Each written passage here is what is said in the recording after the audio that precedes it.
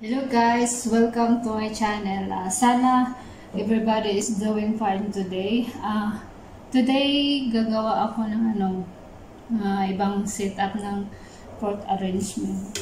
Ito yung gagawin ko. Apple, tatlo siya. Depende sa ano hiwa ko ngayon. Tapos may kiwi at saka orange. May ano din, yung cherry, hiniwa ko na siya para diretso na yung setup. May bisita kasi si Ama ngayon, kaya ano, gagawa ako ng ano lang, mga simple lang na setup. Mga tira-tira ng bagong taon sa kanila. Kaya habang wala pa yung mga bata, gagawin ko.